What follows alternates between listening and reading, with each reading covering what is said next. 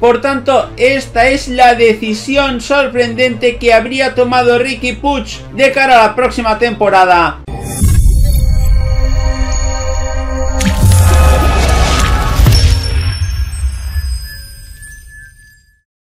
Hola de nuevo gente, ¿cómo estáis? Bienvenidos a un nuevo vídeo de Objetivo Gol. Vamos con la última hora del Barcelona. Y sin más dilación, vamos con la primera noticia y vamos a ver qué cinco defensas tienen la mira a la puerta de cara al próximo mercado de fichajes. El Fútbol Club Barcelona está buscando un nuevo central para la próxima temporada en la intención de cumplir las exigencias de Xavi Hernández, que les ha comunicado a Joan Laporta y Mateo Alemani que necesita refuerzo en dicha línea para poder competir con los títulos importantes. La llegada de Andreas Christensen como agente libre no es suficiente debido a la situación actual de Gerard Piquet. Según informa Mundo Deportivo, el Fútbol Club Barcelona no tiene en sus agendas cinco nombres importantes de cara a la próxima temporada. El problema es que a nivel económico son casi imposibles, pero no dejan de estar en la mira de Joan Laporta, pensando en la posibilidad de salir de varios jugadores y tener dinero para invertir. Pero en este momento, sus fichajes parecen más que imposibles. Fichajes Fútbol Club Barcelona, los cinco centrales que gustan a Laporta para el verano. Jules Condé, el francés es un viejo deseo del club, tiene una cláusula de rescisión de 75 millones de euros. El Chelsea también lo tiene en la mira para el verano. Pau Torres,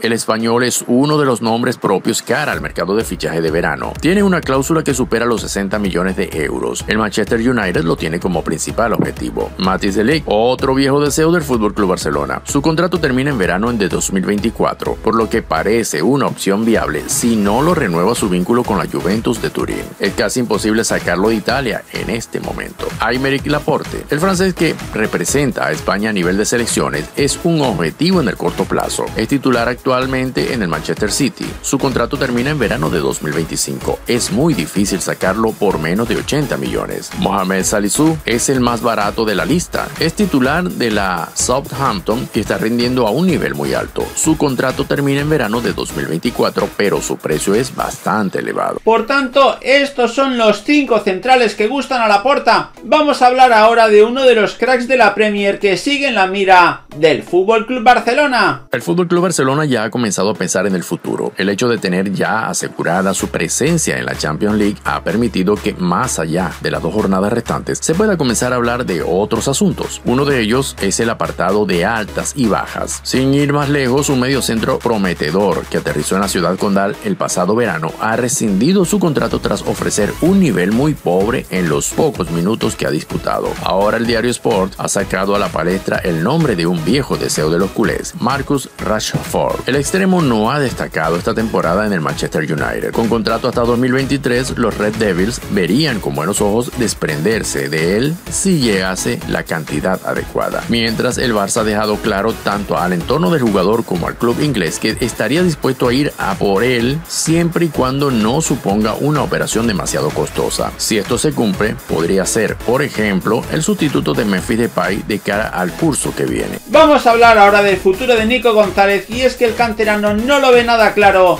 en el Fútbol Club Barcelona. Al Barcelona le queda bastante trabajo por delante en la actual plantilla de Xavi Hernández. Hay jugadores jóvenes que no quieren verse estancados tras haber participado en el primer equipo, y ese es el caso de Nico González. El centrocampista tiene contrato hasta el 2024, pero ya se está hablando de una renovación para atar y mejorar sus condiciones tras su buena temporada en el primer equipo. Nico ha disputado 37 partidos en los que ha sido 17 titular y ha sumado dos goles y dos asistencias a sus 20 años, así que es un diamante para el presente y el futuro azulgrana. Sin embargo, según el diario Sport, el representante Jorge Méndez tiene ofertas de varios clubes de Europa y en el entorno del jugador quieren saber el papel que tendrá la próxima temporada con Xavi Hernández. Si su rol va a ser menos, Nico podría plantearse dejar el Barcelona y analizar las ofertas que tiene encima de la mesa. Otro de los canteranos que no tiene nada claro su futuro en el Barcelona, sino todo lo contrario, Ricky Puig que asume ya que tiene que salir definitivamente del equipo culé. El Barcelona sigue apostando por su filosofía de cantera, aunque no siempre se puede sacar auténticos cracks como Gaby o Nico González. El peso del resto de canteranos en el primer equipo se ha visto con cuentagotas en lo que va de campaña. Es el caso de Ricky Push, que según Mundo Deportivo ya habría tomado la decisión de salir del conjunto azulgrana para buscar nuevas oportunidades. No es la primera vez que al centrocampista se le ha planteado la opción de salir desde la directiva, pero siempre se ha mostrado reacio. El futbolista de 22 años apenas ha disputado un total de 435 minutos en lo que va de temporada entre todas las competiciones. Todo hace indicar que Xavi no lo considera fundamental en la plantilla, más aún con jugadores como Gaby, Pedri, Frenkie de Jong como competencia. No obstante, tal y como apuntó dicho medio, ambas partes están reunidas en la búsqueda de acordar la mejor solución posible. Ricky Push acaba contrato en 2023 y es por ello que no se ha decidido si lo hará en calidad de cedido o traspasado de forma definitiva. Por tanto, esta es la decisión sorprendente que habría tomado Ricky Puch de cara a la próxima temporada. Vamos ahora a hablar de la ilusión que hay en la plantilla del Barcelona por las próximas llegadas de Frank y Christensen. El Fútbol Club Barcelona espera concretar la llegada de varios jugadores para reforzar su plantilla de cara a la próxima temporada. El equipo de Xavi Hernández es consciente de la necesidad existente de fortalecer determinadas posiciones en la escuadra para volver a ser competitivos a nivel nacional y continental y desde las oficinas azulgrana trabajan incesantemente en lograr dicho objetivo. No obstante, la delicada situación económica del club ha obligado a manejar otras políticas de fichajes, priorizando el mercado de agentes libres antes de realizar un gasto desmesurado que pueda representar un problema a futuro para el club. En este escenario, la entidad catalana ha logrado concretar la llegada de dos de las piezas más codiciadas por los grandes clubes, cuyos contratos expiraban en junio de este año. El primero de ellos es Frank Kessier, el centrocampista del AC Milan, que decidió no continuar su aventura en San Siro y apunta a unirse a las filas blaugranas. Asimismo, Andreas Christensen no extenderá su estadía en Londres y saldrá del Chelsea en verano con rumbo a la ciudad condal. Sin embargo, ambas incorporaciones han estado lejos de generar buenas expectativas en la hinchada surgrana.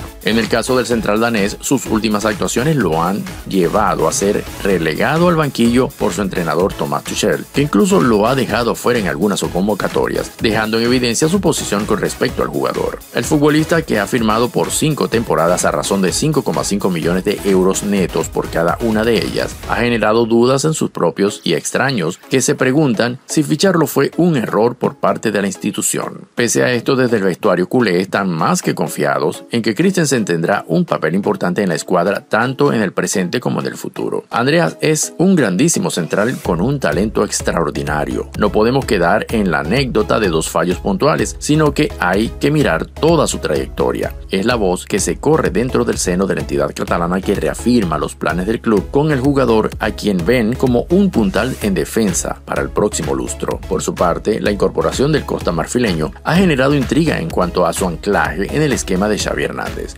No obstante, desde el vestuario azulgrana destacan su recorrido y buen pie y afirman que es un jugón de los pies a la cabeza, pero que tiene un plus para ganar los duelos y los balones divididos, dejando sin lugar a las dudas sobre su contratación. El mediocampista que firmó por cuatro temporadas con los culés en principio llegaría como alternativa a Sergio Busquets en la mitad del campo, aunque su capacidad de jugar en cualquier posición de la medular le podría abrir un hueco en el 11 titular.